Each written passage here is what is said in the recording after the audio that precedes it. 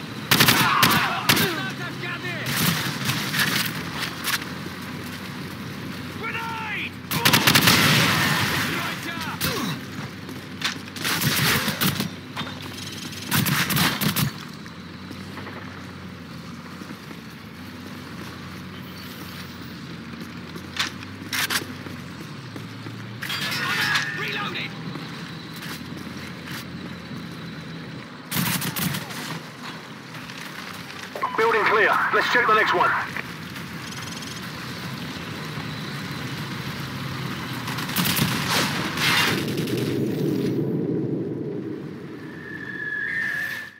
Building clear. Let's check the next one.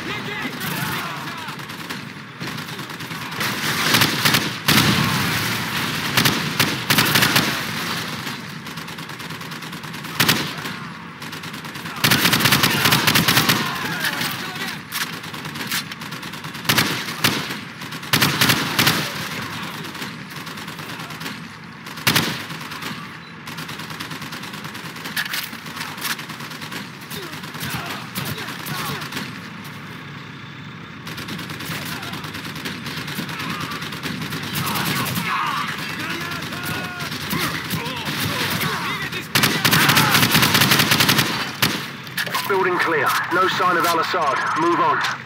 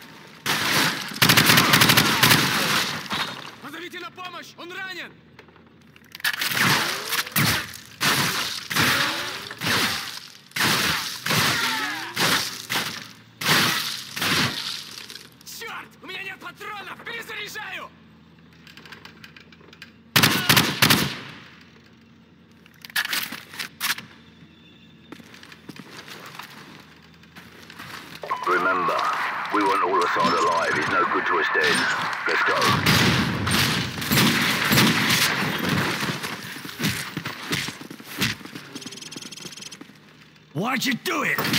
Where did you get the bomb? Oh, Who then? Who? Give me a name. A name. I want his name.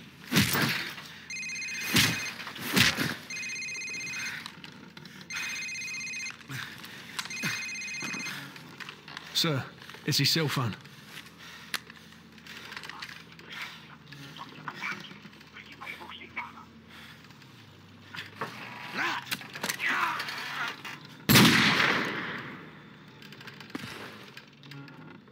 Who was that, sir? Zakhaev. Imran Zakhaev.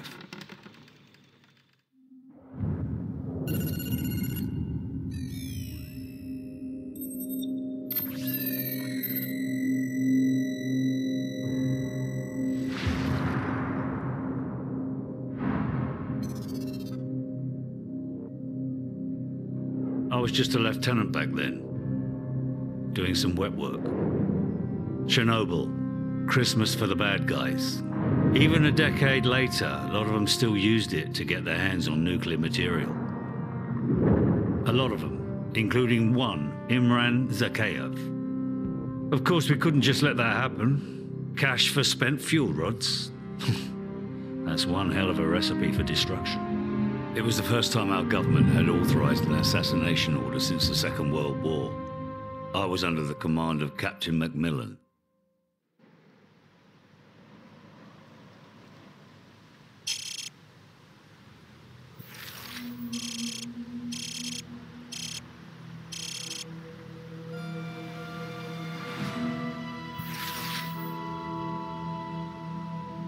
Ready.